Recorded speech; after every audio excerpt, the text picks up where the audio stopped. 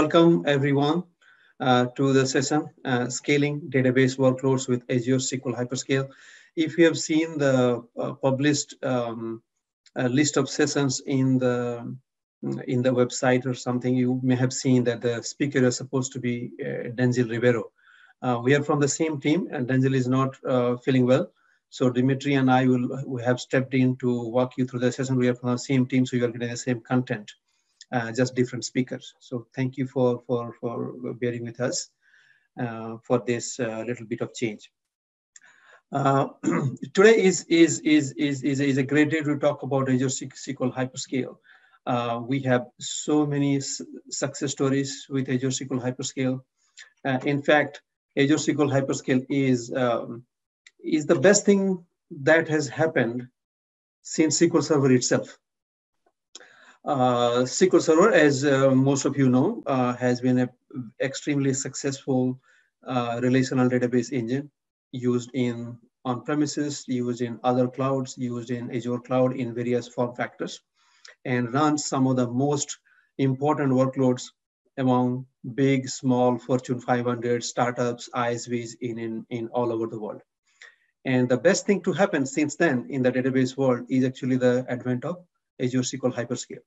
Azure SQL Hyperscale is nothing but the same SQL server at the front that you are familiar with, but a very differently architected behind the scene to ensure that you take advantage of cloud constructs to the cloud building blocks to make them, make it much more scalable, uh, much more um, uh, adaptable, and much more elastic uh, to the cloud workload demands. And this is available in the cloud. And, um, and therefore, it's so important to know the architecture of, of hyperscale database because behind the scene is very different from the SQL server that you're familiar with. In front, from your application point of view, it's exactly the same, nothing changes. Uh, we'll also talk about any uh, recent feature improvements, what has come through. Uh, we'll also talk about what is coming in near near future. Uh, we'll show you tons of demos about on performance, on scaling tips, and also talk to you about who is using hyperscale today and how they're using and why they're, they're, using, what kind of benefits they're getting out of hyperscale today. Uh, as I mentioned to you, uh, hyperscale is uh, uh nothing but SQL from the front point of view, front end point of view, from the relational capabilities point of view. It's the same database engine that you're familiar with. It has uh, all the great capabilities like the intelligent query processing, column store, graph, JSON, spatial, anything that you know and, and, and, and use today and you use them the same way that you use in SQL Server or Azure SQL DB, etc. Um, what we have done uh, behind the scene is that we have re-architected to take advantage of uh, cloud uh, design patterns. We have separated storage and compute uh, so that you can scale them independently. Uh, that allows us to mm, give you much, much bigger databases, allows you to scale the compute up and down much faster as and when you need and independent of scaling the storage. And that those are huge advantages in, in, in, in the cloud. And um, um, and then how, how it, it applies to uh, various workloads and how, how you can scale. Uh, those are the few things that, that we uh, need to be familiar with as we uh, talk about hyperscale. Uh, I'll hand over to my colleague Dimitri who can walk you through each layers of the architecture and then go deeper uh, in this space. I encourage everybody to put your questions on the, on the chat window as deep as you want to go. This is from the team who built Hyperscale. So go as deep as you want to, uh, want to know about it. Go as deep as you want to know about customer usage patterns. Go as deep as you go in your questions in terms of scaling tips, performance tips, etc., etc. Uh, over to you, Dimitri. Thanks, Sanjay, and welcome everyone. So let me start sharing.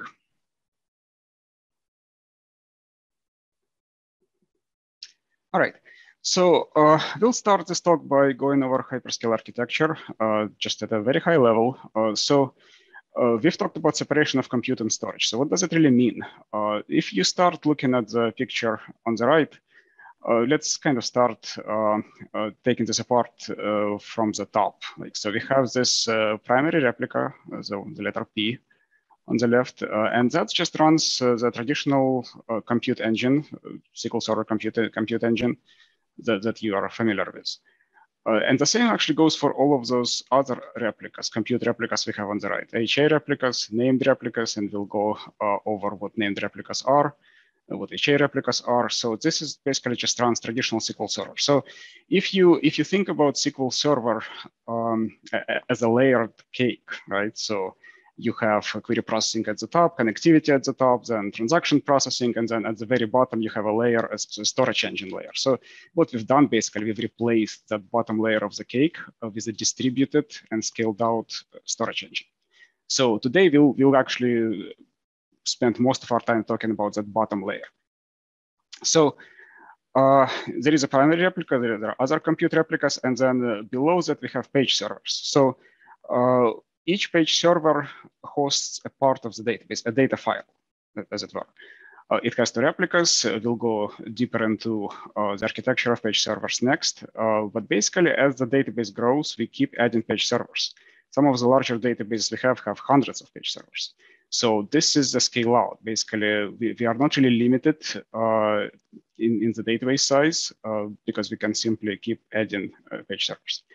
Now, if you look below page servers at this bottom layer, so uh, that's actually Azure Storage. That's where data is actually stored. Uh, page servers have a copy of the data cached, but the actual database data is stored in Azure Standard Storage blobs. Uh, you will see that there are two of them uh, for each page server because page server has two replicas and each replica has, has its own blob, right? So again, this grows dynamically. Uh, Azure Storage is virtually limitless, uh, so we can keep adding new blobs as the database grows. Now, on the right, you see log service. Log service is something that kind of ties it all together. Uh, so any, any change that you make to the database first makes it to the log service, and then log service is responsible for applying that change to page servers, other replicas, and so on and so forth. So uh, we'll dive deeper into all of this. Uh, this is just a high-level picture. So what else? Uh, so as you add HA replicas, you get higher SLA. So uh, HA replicas serve as hot failover targets. So if the primary fails for any reason, uh, there is a very short, uh, typically less than 10 seconds failover to one of the HA replicas. Now, uh, even if you don't add any HA replicas because you can set them to zero, that doesn't mean that your database is not highly available. It still is. It's just the failover takes longer. Instead of a few seconds, it may take maybe up to a minute. Um, with named replicas, you can add up to 30 of them and we'll spend uh, a good amount of time talking about what named replicas are and the capabilities they provide. Um, as far as backup restore, that's actually not done in the engine at all. It's done at the storage level. Uh, so there is no impact from backup on, on the compute performance. So that's unlike any other SQL engine you, you might have seen. And that's a hyperscale uh, unique, I think. And then all of this uh, can be geo-replicated to another region. And then uh, transaction log that's generated by the primary in one region is streamed uh, to the same architecture in another region to provide geo-replication capabilities. All right, so next, let's just see how, how this looks in the portal. So let me open the portal. This is a hyperscale database, Wide World Importers standard sample database on hyperscale. Okay, so and it's actually not very different uh, from any other Azure SQL database as far as the portal goes. So you can see uh, the compute utilization metrics, you can see space uh, allocated and space used. And then if you go to compute and storage, uh, we can see what how, how you can change some parameters of the database. Okay, so you see the hardware configuration box. Uh, you can switch hardware from Gen 5 to something else. Uh, you can see the number of cores. Currently it's set to two vCores. I can scale it all the way up to 80 or whatever the hardware generation provides or will provide. Um, so you can also set the number of high availability replicas here. Right now, this database has zero, and I can slide it all the way to the right to have four. Now, one thing that you don't see here, and you would see on the other on other, other Azure SQL databases, uh, is the slider that lets you set the maximum database size. So in hyperscale, you don't have to set the maximum database size because it's virtually lim limitless. It's 100 terabytes. So you, you, don't even manage that at all. The database grows as needed, okay?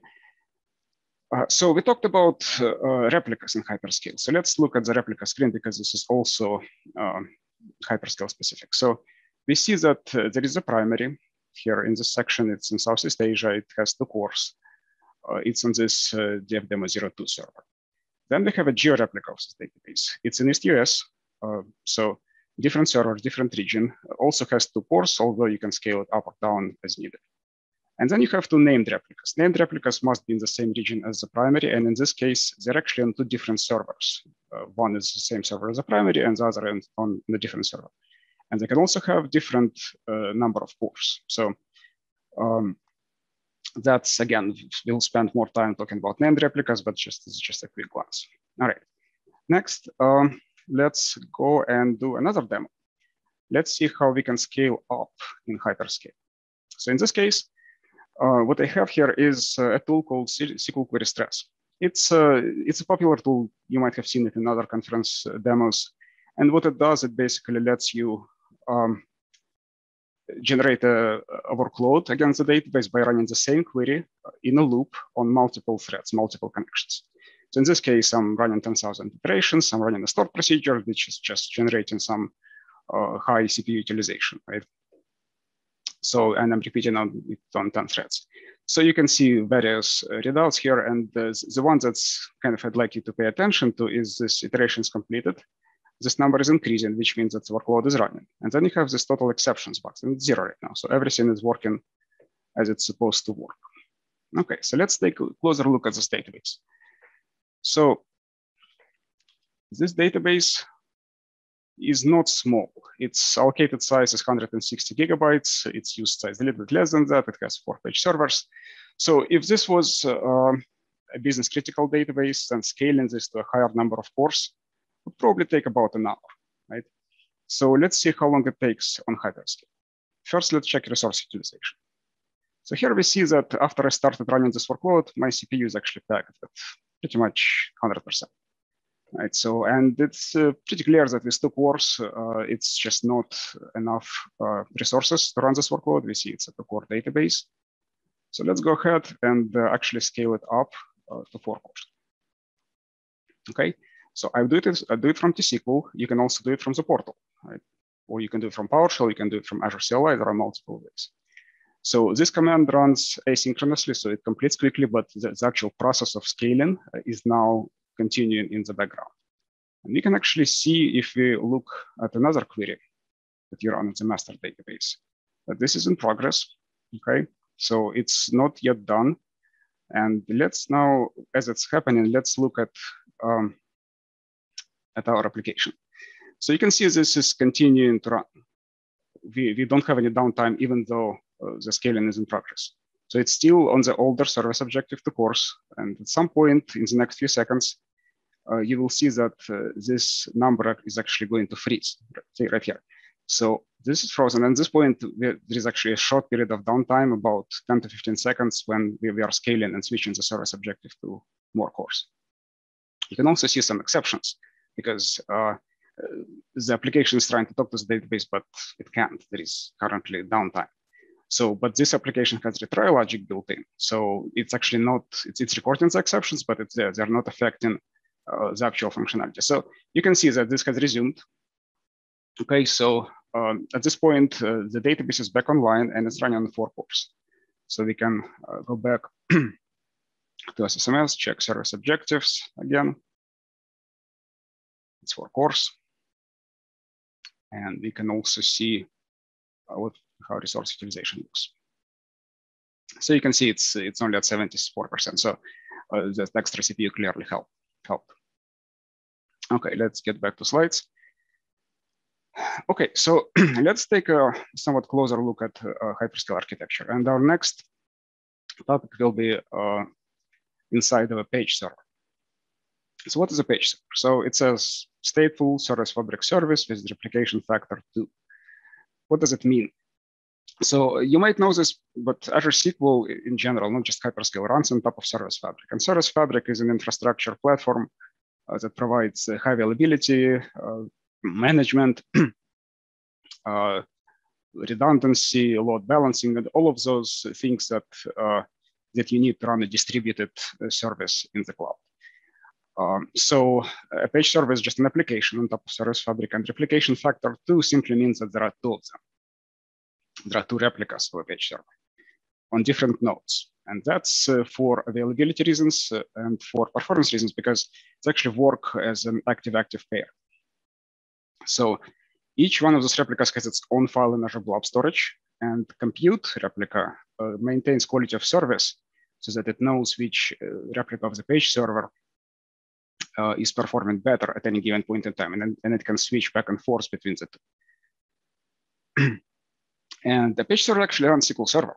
So it's, it's a kind of special version of SQL Server, specially configured for one purpose only, uh, two purposes actually, to apply pages from log service uh, to the data file in its local RBPX cache, and to serve pages to compute. So uh, because it's SQL Server, it, it, has buffer pools, so it has a data cache and memory, which means that if you're reading a page, if, if a query uh, running on compute needs a page from a page server, it may not even need to do any kind of read from local RBPX on, on the page server. That page may be just found in the buffer pool already. So that's a performance optimization. There is a cover in RBPX cache. So RBPX stands for uh, Resilient Buffer Pool Extensions. And uh, that's basically a covering cache for the blob that sits in Azure Storage. So each blob is typically 128 gigabytes, and there is a covering, which means uh, covering cache, which means that there is that the size of this RBPX cache is also 128 gigabytes. All pages are cached in local SSD on the page server. So even though reading data from a page server is a remote read, it's, it's a fast remote read because data is on local SSD, or as I said, in, in buffer pool. Uh, one role of the page server is to offload operations from compute. So things like checkpoint or writing changed pages to back to data files in blob storage is done by a page server, not compute. That means there is more uh, resource uh, resources available for your workloads. Uh, backups. Backups are done via file snapshots in blob storage. And that's also something that is initiated by a page server. Now, uh, as far as uh, uh, data redundancy and data durability, that's provided by Azure Storage. Azure Storage has a very high uh, durability SLA, 11 nines over, over a year, so there is very small chance of uh, data loss. Right. now, let's move on and talk about log service. And we'll do it from the perspective of the primary compute first. So on the primary compute, you may have a transaction that uh, generated a log block, transaction log block. Um, that log block uh, is committed to something we call log landing zone. And log landing zone is uh, a page blob in Azure Premium Storage.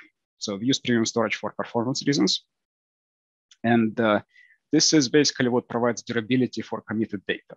So a transaction on compute is not uh, that does not commit until we, we, get an acknowledgement from this log landing zone that the data has been hardened and is durable. So as we write uh, log blocks to uh, landing zone, there is an asynchronous process that uh, copies them to something called long-term storage, which is Azure Standard Storage. Uh, and that's basically what provides the infinite log abstraction uh, in hyperscale. So even though the size of the landing zone is finite, it's about one terabyte, you can actually keep uh, writing log for, uh, as, as, as, you can keep writing as much log as, as you want, because all of that log will be uh, destaged and stored in the long-term storage uh, for the duration of uh, uh, backup retention of the database. So we can always use that log to restore a copy of the database and bring it to a specified point in time. Now, uh, as uh, a log block is getting uh, hardened in landing zone, it's also asynchronously sent to something they called xlog process, right? That's um, that's a process. It's it's a it's another uh, service fabric uh, application that runs in log service node. It does not run SQL Server. It's brand new uh, code, and um, it receives log blocks. It puts them in staging array in memory, and then it hashes them by page ID. And then those hashed log buffers are stored in memory as well. Uh, so some amount of them, the most recently uh, generated ones will be in memory and uh, the remainder, some the older log blocks will be cached on the local SSD cache of the log service. So that's that's cache is larger than the amount of memory. So this way we can store more log blocks locally. So at this point, we can have log blocks in four places, in the landing zone, in long-term storage, in memory, and on local SSD cache of the log service node. So what happens when we need that log, right? So uh, page servers and the secondary compute replicas continuously talk to uh, log service to get new log blocks, right? So, but the thing is, uh, not every log block has to be sent everywhere. So because they're hashed by page ID, each page server can only request log blocks for its own range of pages, right? And the same goes for replicas. So that's an optimization. Now, uh, each log block can be served from memory, from log broker, or it can be served, if, if it's not found in memory, it can be served from local SSD cache, or it can be served from either landing zone or standard storage, long-term storage. All right, let's look at the page read lifecycle. And we'll do that starting from the blob storage. So you have uh, a blob in blob storage, it's attached to a page server. Okay, so Normally, uh, the RBPX cache on the page server will be populated with the same data as in the blob. However, there are situations when that's not the case and that uh, page server needs to be seeded. For example, uh, if you are creating a copy of the hyperscale database, its page servers will be initially empty and they need to be seeded. So uh, if when we talk about the life cycle of a page, we, we should mention the possibility of having to seed um, a page server, page, page server's RBPX cache. Then uh, let's say there is a query running on primary primary or secondary compute, okay? So uh, that query may need some pages, and those pages can be spread uh, between the buffer pool on the primary, on the compute, uh, RBPX cache on the compute, or the page server. So if uh, we get the page we need from local RBPX cache on compute, that's called a page hit, and it returns fairly quickly in one to two milliseconds. It's a quick read. Now, if, if that uh, data is not found in either buffer pool or RBPX cache, then we have to actually go to the page server. Now, uh, the, the, trick here is that we, we, don't just need that page from a page server. We need that page at a particular LSN. LSN stands for log sequence number. So we need a particular version of that page that would uh, make the data we are transactionally consistent. So uh, if that page already exists at that or higher LSN on the page server, we just return. However, if uh, if that, that, that version of the page is not yet on page servers, then we have to request log from log service and wait until that log gets redone or replayed uh, to the page server. And as that, that redo uh, happens, you will see page AOLH uh, wait type on compute. All right, next topic is uh, log throttling service. The first question is why, why do we need to throttle, right? That's probably something that comes to mind uh, when hearing the word throttling. So it's actually a very important uh, part of any distributed system, and it's uh, important because it lets the system to remain uh, stable and balanced. So if any one component, a page server, a replica, uh, gets behind in applying log, uh, we basically reduce log rate generation on the primary compute, throttle it, and let we let that component catch up. The throttling service runs alongside of SQL Server uh, on compute node. It's a separate uh, executable separate service. It talks to log service uh, periodically. It gets um, actor progress. When we say actor, we mean any component, a page server, a replica, and so on and so forth. So it, it gets uh, actor log progress in a applying log. And uh, if we see that uh, a particular actor is less than one gigabyte behind in applying logs, there is no throttling at all. If it's more than giga, one gigabyte behind, then we start throttling in steps. And the, the initial step is fairly minimal. Uh, you still get uh, log generation close to 100 megabyte per second, but then if the actor uh, does not catch up, then deeper throttling will be, uh, will be needed. Okay, uh, how do you know that throttling is occurring, right? So you will see a number of RBIO waits. So you can see what they are here. Uh, there are five of them, and depending on the nature of the throttling, um, where it's coming from, you will see either RBIO RG storage, that's a page server getting behind, or RG destage, that's when uh, destaging log to the long-term storage is slow, for some reason, or replica, which means a replica is slow applying log, or local stage that's copying log blocks to local cache in log service, or georeplica. Georeplica is slow. So uh, that's not common, common, uh, but you do you do see sometimes uh, workloads that uh, occasionally may run into throttling. All right, let's now talk about hyperscale secondaries. So we call any replica other than the primary a secondary replica, and that includes HA uh, high availability replicas uh, and name replicas within the same region as the primary. So uh, we talked about HA replicas already. They are failover targets. You get higher SLA when there are more HA replicas. Uh, they are priced uh, with a discount compared to the primary. And they can also serve double duty as readable for, for, readable scale out, read scale out. Um, named replicas in, are in some way similar, but uh, there are some important differences, and we'll, we'll talk about that next. And one important thing about either HA or named replicas is that they use the same copy of the data as the primary. You can see on this uh, picture that there is just one set of page servers here and one log service. Now, if we talk about cross-region replicas, uh, that's geo-replicas, and they're mostly used for uh, DR, disaster recovery, uh, they may also be used for geographic uh, read scale out. And they, they have their own copy of data because obviously for uh, just recovery, you, you need a separate copy of data in a different region. For, for all replicas, uh, one important note to make is that log is applied to replicas asynchronously.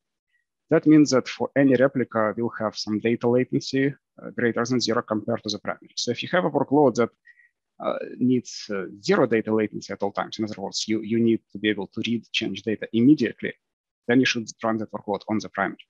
Replicas are for those workloads that can tolerate some data latency. It's usually minimal in the order of maybe tens of milliseconds, maybe low hundreds of milliseconds, uh, but it's there. So if you have workloads that cannot tolerate latency, uh, you should run it in the primary. But one important thing is is that any data you read from a replica is always transactionally consistent. So uh, until you've committed a transaction on the primary, you will not see the changes of the transaction on the secondary. Okay, uh, so on the replica, the, the, the, data that we cache in RBPX is actually specific to queries executed there. So there is no synchronization between RBPX caches on the primary and on the secondaries. So the caches are specific to the workload running on each replica. One other point re regarding replicas is that uh, you can customize MAXDOP uh, separately for the primary and for the secondaries. There is a command, alter database scope configuration. You actually run this on the primary, but you specify for secondary in the command. Okay, let's spend some time looking at named replicas. So that's still a feature in public preview. Uh, it's supported for production workloads, uh, but it's not yet generally available. So uh, each named replica appears as a, as a separate read-only database with the same data as the primary, right? So, and what, what I mean by separate is that you can scale each named replica separately. So you can have the primary, say, with uh, two vCores, and the secondary with 80 vCores or some other combination, right? So your writable workload may be more or less intensive than your read workload, so it may be necessary to scale them independently. Another uh, distinguishing feature of named replicas is that they may be hosted on the same logical server as the primary or a different logical server in the same region. Uh, so what does this provide is uh, the ability to have uh, different authentication for the primary versus um, a replica. That's actually a feature that many of our customers have asked for, because, for example, um, they may want to create uh, a login that lets somebody see uh, read-only data, but uh, not being able to run any kind of resource-intensive query on the primary the effect production. So that's what you can get with named replicas. You can have up to 30 of them uh, for one primary. So that lets you uh, that enables workload isolation for different read-only workloads. For example, you may run some Power BI reporting on one named replica, run some data science workloads on another, and run some ad hoc uh, queries by users on yet another replica. Uh, creating named replicas is fairly simple. You can do it with PowerShell, RCLI, REST API. or in this case, uh, T-SQL. So you basically say at secondary, we specify the server, specify the service objective, which may be again different from the primary. Uh, secondary type is named, uh, and uh, the reason they call it named is because you can give a different name uh, to, to, the database than the name of the primary. One thing that you uh, cannot yet do with named replicas is have some kind of load balancing across um, multiple replicas. However, we published a sam sample, a code sample that you can use uh, for that purpose to basically build your own load balancing solution. Okay.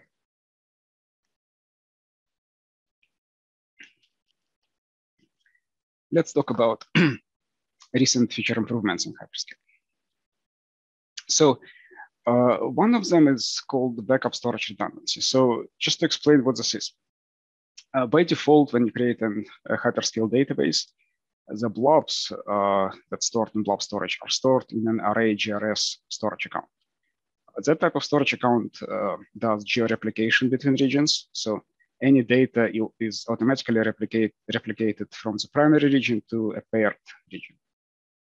Uh, and that's actually a great data protection feature because if some kind of a major outage were to happen in the primary region and your database becomes unavailable, there uh, you could still restore it from the data stored in the paired region. So that sounds great, and that's actually something we recommend for most customers. However, there are some customer scenarios where uh, the paired region is actually located in a different country or a different geography. And for compliance reasons, uh, customers cannot have any of their data geo-replicated outside of their country or their, geogra of their geography. So in that case, uh, when you create a new hyperscale database, you can actually uh, change uh, storage redundancy to be locally redundant or zone redundant in the same region. So then the data stays in the region. Okay, but again, uh, we usually recommend for most customers to use RA-GRS, geo-redundant storage for data protection reasons. Uh, database copy in Hyperscale is generally available now. Uh, so what it does, it creates a transactionally consistent copy of the source database. Uh, and if that copy is within region, that's actually very fast, regardless of size of data. So uh, that enables scenarios such as like daily copying or nightly copying of uh, production database into lower environments for some uh, dev test activities. Uh, database copy has no impact on the source database because it's done at the storage level. Uh, as I mentioned, copies can be within the region or across the region, and you can also copy database across subscriptions or across tenants with T-SQL. Um, so you, if you can, if you can see this chart, uh, you'll see that uh, in this case, a nine terabyte uh, database was copied within the region West US2 in 12 minutes. Right, so that's uh, quite fast for the size. Uh, now that same database was copied across regions in 133 minutes, or uh, copied within the region, but as, as a geo replica in about 125 minutes. So one thing to note is that even though uh, you may be running a copy across regions, it's not really proportional to size of data. So if this was an 18 terabyte database, it would still probably take maybe a little bit longer than 133 minutes, but not twice that amount of time. And that's because uh, we, we, copy all the blobs uh, that the database uses in parallel, right? So it's not sequential, so uh, it's not sequential copies. So the time is not proportional to size of data, even with uh, database copy across regions. So yet another recent uh, improvement that is now generally available is um, customer managed keys with transfer transparent data encryption, also known as BYOK or bring your own key. So uh, that works just the same as in other Azure SQL tiers. So you can basically encrypt your database using your own key stored in Azure Key Vault. Uh, so you can read more about that at that uh, blog that we've published. All right, our next topic is roadmap. So we'll talk about things that we are currently working on and that will be uh, coming uh, uh, to uh, preview or general availability in the, the next few months. So geo-replication in hyperscale is already in public preview. Uh, it's there with some limitations, and one of those limitations is lack of support for failover groups.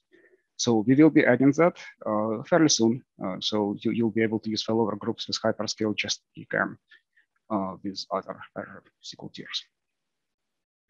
Another very common uh, customer request is to provide restorability for uh, periods longer than seven days. So that's also coming soon, hopefully before the end of this calendar year. Zone redundancy is another improvement that we're working on. So that will basically let you uh, make a hyperscale database resilient to uh, zonal outages, right? So that's already available for business critical and premium. It's in preview for general purpose, and we are working on this for hyperscale. And then last but not least, uh, today, when you create a hyperscale database, you actually have to check a tick box uh, saying that uh, you won't be able to um, to switch the service tier back from hyperscale to some other tier. Uh, and that uh, gave some of our customers uh, some pause hesitation adopting hyperscale, migrating to hyperscale, because they wanted to have that ability to switch back to, to, the current to their current service tier if for any reason hyperscale didn't work for them. So we are adding that capability uh, from hyperscale to general purpose. once a database is migrated to general purpose, you can then move it to any other tier as well. So even if you use business critical today, you can still go to hyperscale and then migrate back. It's just an extra stop in general purpose.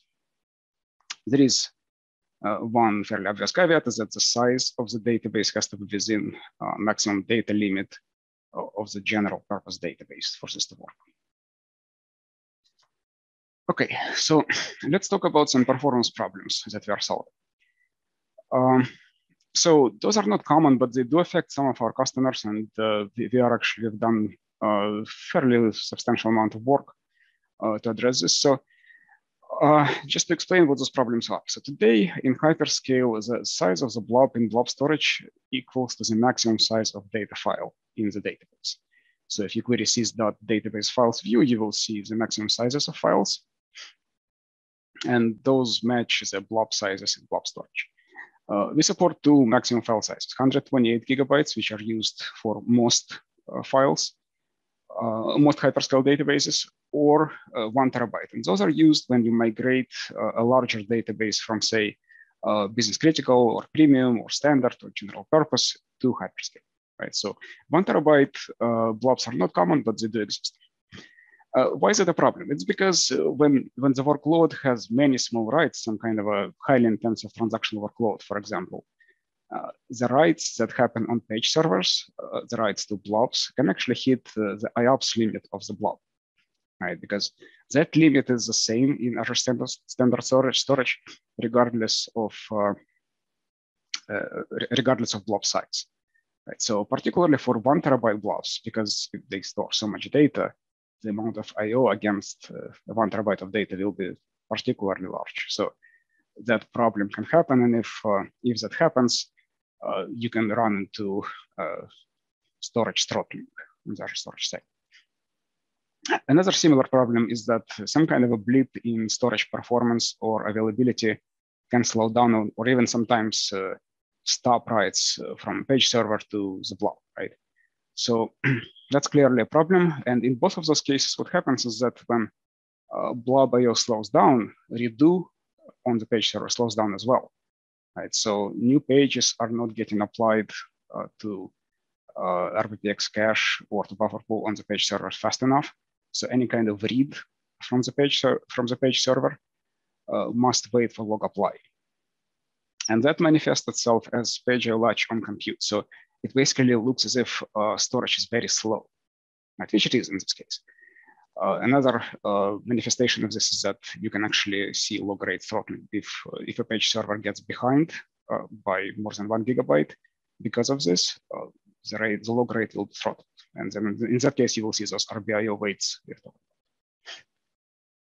Okay, yet another problem that we are solving is that, and that's more an less common but more insidious problem is that a page blob will be fragmented with many small writes.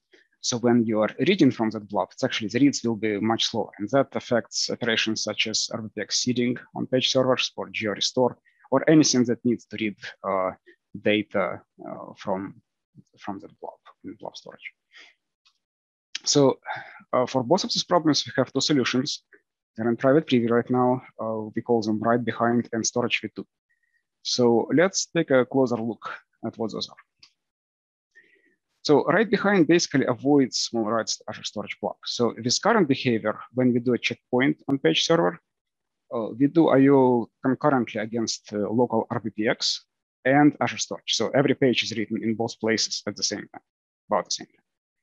Uh, so the change is that uh, we are actually eliminating that concurrent write. Instead of uh, writing to uh, Azure Storage continuously, we instead use larger but less frequent writes.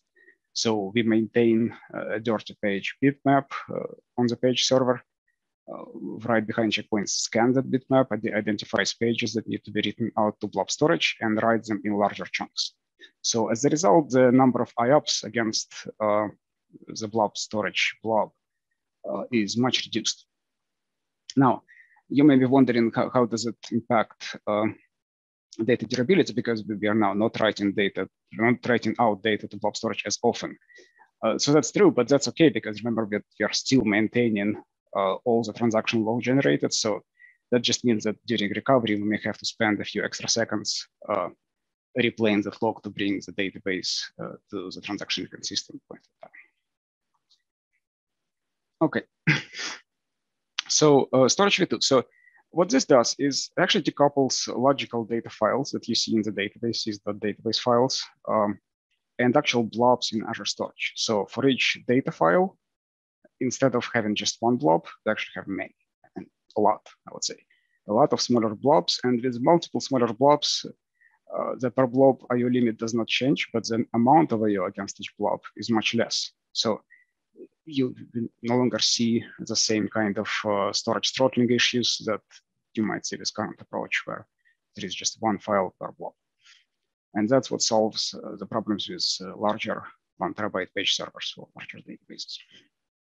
So if we want to take a closer look at storage v2, uh, you can see that on this picture, uh, you have a file, uh, let's say MDF or NDF file in the database.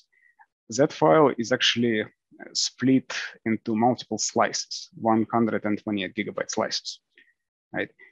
Each slice consists of what we call cells. A cell is 16 gigabytes, and a cell uh, in turn consists of four stripes. There is a lot of new terminology here, I realize. Uh, so a stripe is actually a blob in Azure Storage, right? So you can see that instead of just one blob, uh, in this case, uh, 428 gigabytes, we will have dozens of stripes. Uh, they will be much smaller, and yet each one of them will still provide the same amount of IOPS as a single uh, blob would use otherwise. Okay, so uh, it's now time for another demo. so what we'll show in this case is a TPCC-like workload uh, using uh, HammerDB, right? Uh, with and without those two improvements, write behind and storage v2. So a few words about HammerDB and, and the workload it generates. So it basically simulates a workload uh, in some kind of online ordering application. So uh, you have uh, stock in a number of warehouses and customers place orders against that stock. Right? So it's fairly typical.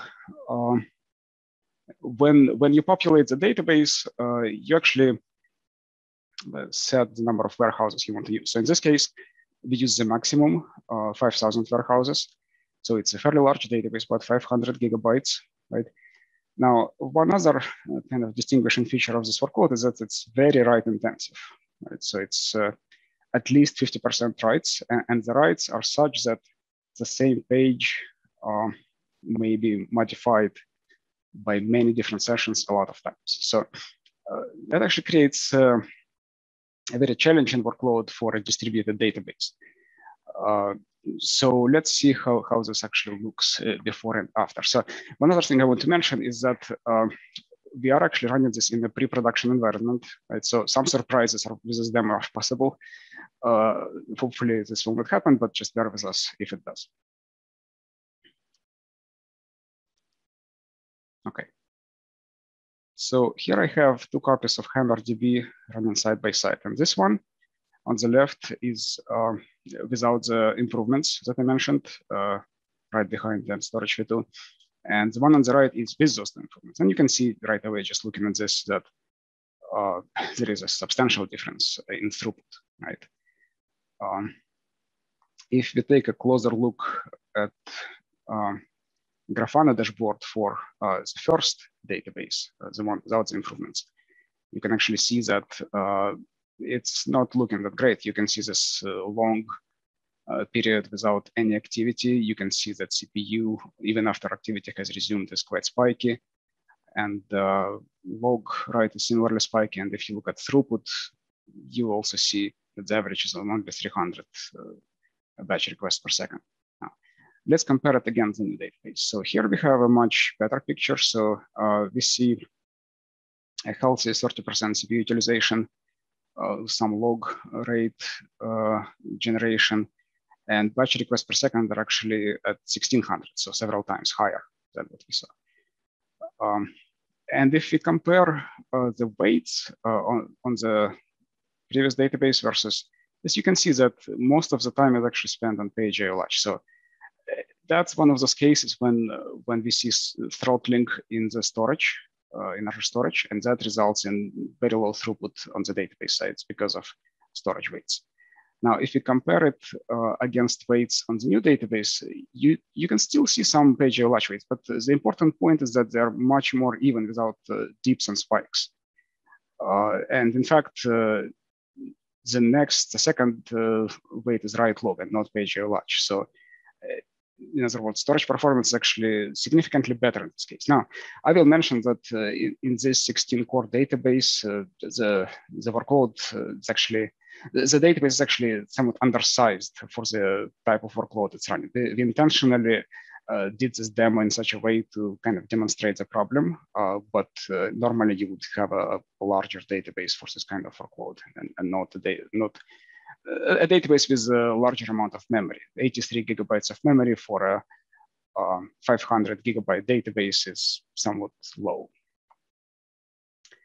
Okay, um, moving on. So uh, some other improvements uh, we are making are around uh, transaction commit latency, right? So you you saw that write log wait. That's basically the the wait associated with writing to log landing zone. That that landing zone is in remote storage, so there is some network latency involved. Uh, so we are working on an improvement to uh, minimize transaction commit latency and actually bring it uh, down to the times you would typically see on business critical and premium tiers. Uh, another improvement, actually multiple improvements, is in uh, secondary redo. So that just improves read scale experience to uh, improve performance, uh, reduce data latency on replicas, and so on. Uh, yet another improvement is uh, something called compute RBPEX priming, right? So today when the primary or secondary replica is failing over, or when you scale it to a higher or lower number of cores, the local compute RBPEX cache is lost, right? And it has to be rehydrated with the workload again. So with this improvement, we will actually uh, prime it uh, as a part of the failover. We will keep track of hot pages, and then after failover, we will uh, proactively populate that RBPEX cache with those hot pages. Okay. So next, uh, let's just talk about some performance and scale tips for hyperscale right? Uh, now, the, the number one, and it's not even specific to hyperscale, is that hyperscale still uses the same database engine as uh, SQL Server, as Azure SQL Database. So all the common best practices that you have for uh, design or tuning or optimization, uh, they still apply, right? So in fact, when we work with customers, uh, using hyperscale, about 80% of uh, problems we solve or help them solve are not hyperscale specific at all they're just general SQL uh, problems, either suboptimal design or some kind of query tuning or missing index. Uh, that's really doesn't change. Now, going into uh, some something more hyperscale specific, uh, in terms of index maintenance, it's uh, kind of more relevant for hyperscale because databases tend to be larger in general. So the first uh, tip here is evaluate whether you actually need to do index maintenance we still very often see customers uh, do that just out of habit or because they've been doing it uh, for many years on-prem environments. But very often that actually does not result in any kind of improvement. Instead, uh, customers just uh, waste time and resources on it. In fact, sometimes customers have to scale up their databases uh, just to get the necessary resources to run uh, index maintenance. So we've recently published uh, updated documentation for uh, index maintenance. You can just search, do the web search for SQL index maintenance. You'll find that help topic and we present some strategy for determining whether you need index maintenance and how to do it if you do. Uh, so if you do run, if, if you do have to create or rebuild indexes, use resumable operations. That's particularly relevant for larger databases because uh, any kind of index operation on, on a large index uh, will take time and the likelihood of something either on the client side or on the server side, uh, failing during that long operation gets higher. So with resumable, uh, you don't have to lose work that you've done so far. You can just resume that index operation if it became stopped for any reason. Uh, if you're running indexes uh, offline, uh, use MAXDOP because that's particularly important if you set MAXDOP to some lower value for the rest of your database. Uh, but you need to create an index as fast as possible, right? Because then you will see a noticeable improvement in index creation speed if you set up to say 8 or 12 or sometimes even 16, uh, even if your uh, up for the database is set to some lower number, maybe 4 or even 1. Um, so just be aware of that. Now, one, one problem that customers sometimes see, and it's not really hyperscale specific, you may see it on any Azure SQL database or any SQL Server database is TempDB contention. Right, so that's particularly uh, common workloads that use a lot of temp tables uh, and create and drop them very frequently. Uh, so, and, and one of the solutions for that problem is to use memory optimized table variables. Now, it so happens that in hyperscale, we don't yet support uh, in-memory OLTP, right? which means you, you cannot really create a memory optimized table in the database. However, you, do support memory optimized table variables as well as uh, natively compiled stored procedures. So memory OLTP is actually partially supported in hyperscale. So, and that's one good usage of it is to use memory optimized table vari variables to uh, reduce TempDB contention. Next is uh, a few topics uh, for mostly DW analytical workloads that have to ingest uh, a lot of data. So uh, one trait of hyperscale is that we support uh, the same highest 100 MB per, per second log rate, irrespective of compute size. So even with two cores, you can, in principle, uh, generate 100 megabytes of logs per second. Now, the, the caveat here is if, if, you have a small database with just a couple of cores, two cores, four cores, it may be difficult uh, to generate that much log, right? Just because you don't have enough CPU power on the primary, right? So if you're in that situation, if you do need to ingest fast uh, and you're not seeing 100 megabyte per second log rate, it could be because your CPU is uh, at 100%. And you just can't really uh, generate that log. So you may need to scale up in that case. Uh, one very common tip is uh, for improving load throughput is use data compression, either column store or page compression. That's because more data will basically fit into unit time. Um, so uh, consider that. And then if you do need to ingest large amounts of data, make sure to use some, make sure to use some um, bulk API. We, we, still see customers sometimes using uh, singleton inserts uh, or maybe batched inserts, and that's not nearly as efficient as using some kind of a, bulk uh, API such as what provided by Azure Data Factory or Spark, or just in .NET SQL bulk copy uh, class. And finally, uh, even though a hyperscale database is virtually limitless in terms of its size, uh, keep in mind that TempDB is still uh, finite. It's stored on local SSD, right? So local SSD is finite. There is only so much disk space there. Uh, so TempDB uh, is also finite. So if you run into a problem running out of TempDB space, uh, you may need to scale up to get more TempDB space because it's proportional to the number of cores. Uh, or you may have to just optimize the workload to not use as much TempDB. Okay, so at this point, uh, I'm going to hand it off back to Sanjay to talk about um, hyperscale customers and workloads that we are seeing. So Jim stopped sharing, okay. so go ahead and. Thank you, Dimitri. Okay, uh, you stopped sharing. Okay, let me share my screen there. Okay. And we will spend some time at the end of the session on questions. I do see uh, that there are some questions here, so we'll, we'll definitely address those. Okay. Uh, can you see my screen? Yes. And can you see the right screen? Uh, you're still on the tip slide, slide, so just different slide though. Right? Next slide. Okay. Here okay. Good. Good. Okay. So, uh, so thank you, Dimitri, for for walking through the the depths of of, of hyperscale. And now the audience, now that you have seen a nice, slick uh, database, you would like to know who's using it and how they're using it and why they're, they're, they're using it. And so I'll walk through some examples, some customer scenarios where people build them um, uh, using hyperscale and then how, how and why. And we are seeing that some uh, interesting patterns are emerging as because hyperscale is relatively new, um, uh, even though it has been like GA for two plus years now, so it's a pretty solid. It is gaining grounds in many different uh, industries and many different workloads. Uh, and we are seeing that what type of workloads are coming towards, towards hyperscale. Uh, what we're seeing is that uh, many customers who are building new cloud-born applications, and they're trying to future-proof scaling for space and compute. Uh, they do not know how big the database could become. They do not know how much of compute they need. They really do not know if the how the ratio of compute to their storage will be. So they want to pick a database service where the compute and storage scale independently. And some examples, and they really do not know how big the database could become. So they want to be ready for the big databases. One great example we got to know during the COVID time.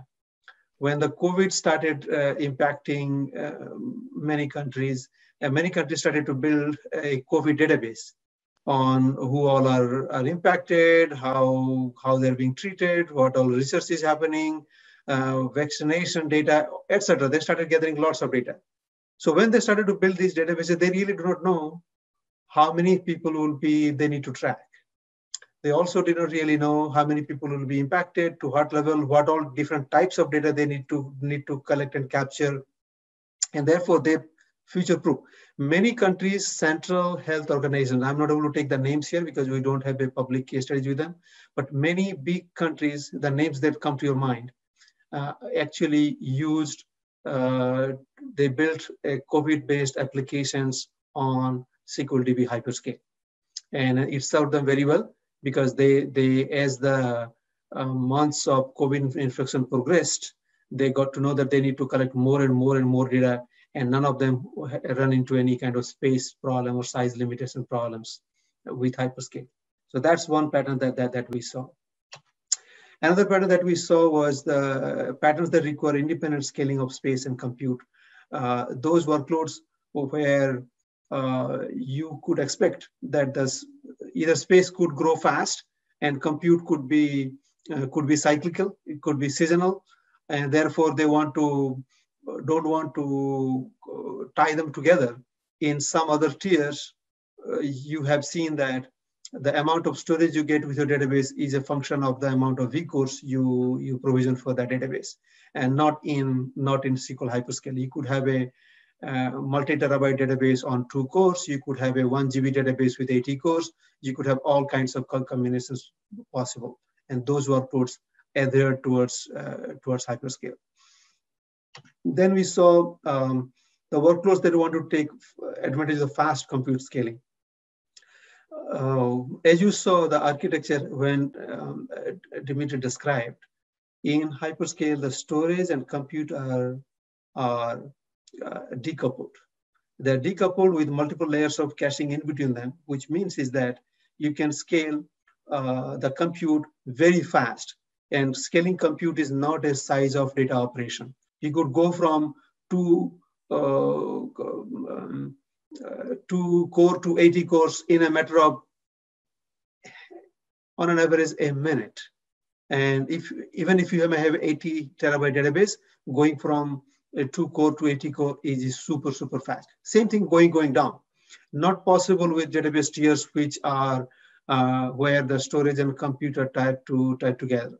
And therefore, many workloads uh, where this kind of uh, need existed, where they would say that, okay, you know, my database size is big, but during the daytime I need uh, 20 cores, during the nighttime I need only two cores, and, and or I have much more cyclic. During the morning I need 80 cores, during the late afternoon I need 80 cores, but in between I need only 10 cores or in the night I need only 20 cores. All this kind of stuff, people people did all this kind of a um, combinations uh, were much much easily doable because scaling compute is extremely fast.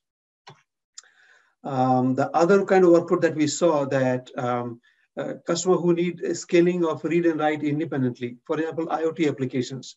IoT applications, you always have uh, writes coming in, and then you know that you may be reading those IoT data that you have gathered uh, to gain some kind of a uh, pattern about the data, to understand any anomalies with the data, to understand any kind of a pattern with the, with the data. And so you may be running a lot of queries on the data. And you may be doing, uh, using uh, a lot more uh, query nodes compared to, to, to write nodes. Uh, we have seen in some uh, IoT applications, you can actually use a single write node to insert millions of rows per second. And therefore, one node for write for IoT application scales extremely well. Uh, but for, for reading, for different types of query, you could actually spin up multiple replicas. You could spin up actually multiple HA replicas and do query on them. And you could actually spin up, now we have named replicas also on, um, uh, on, on public preview now and you could actually spin up multiple uh, replicas and, and, and, and offload uh, query to them. Offloading query to named replica had tons of advantages in the sense that if your uh, primary, which is your write node, it could be 70, uh, it could be 60 core, 50 core, 40 cores, whatever, right? You could have a different number of cores for your named replica. You could have different number of cores for each of your named replicas. Uh, and you could actually connect to a given name replica directly to a specific replica. So all those advantages makes uh, this type of workload uh, choosing uh, hyperscale like a no-brainer. Uh, ISV application modernizing to SaaS. Uh, when ISV application, uh, typical ISV provider use will they sell licenses of their software. When the licenses of their software, they usually uh, other customer, their customers will kind of install that and then they do, which means that the control of that software and the control of the data produced by that software is with the customer. The responsibility is with the customer. The moment the ISVs become a SaaS provider, they now need to ensure that they manage that data efficiently. Uh, they manage that data in a way that um, they provide the right amount of isolation, right amount of uh, granularity, right amount of cost optimization, right amount of scaling uh, for, for those. So therefore, the SaaS provider now will have to decide what type of database tier they choose uh, uh for their ISV application. Now, many ISV applicants, they actually don't know whether when, once they release their SaaS, whether it will be adopted by 100 users or by 100,000 users. It could go like um, uh, viral and suddenly they have hundreds of thousands of users and to, to uh, be able to provide service to them, they need a database that can scale both size-wise and compute-wise and, and without having to bother about choosing something else once they have their, their SaaS application has become very popular. So they, they have chosen um, hyperscale in those situations that we have seen. Uh, we also see a tons of uh, large SQL Server databases migrating from on-prem to Azure or from other clouds. Uh, when you have uh, typically when you are migrating a smaller database, you have many options. You can go to VM, you can go to uh, manage instance, you can go to business critical or or general purpose tier. But if you're if you're migrating a 20 terabyte database, that was your business critical database, or that was your main application database on-prem, uh, then the, the, the, possible target that you have is actually hyperscale. And we have seen many such large databases uh, actually migrated from uh, on, on-prem to cloud. One such example is a very big uh, shipping company, uh, shipping slash courier company. And they were running, every time they ship something, they, they and their users will be tracking those shipments. And to be able to track those shipments, their, their database was like 30 terabyte plus, and they were running on on-prem SQL Server. And they migrated to hyperscale on um, SQL DB hyperscale so that they can actually take care of the 30 terabyte in, in the cloud. Uh, same thing applies for a very popular um, coffee retailer in the in the world. Almost every country has a coffee shop from from this company.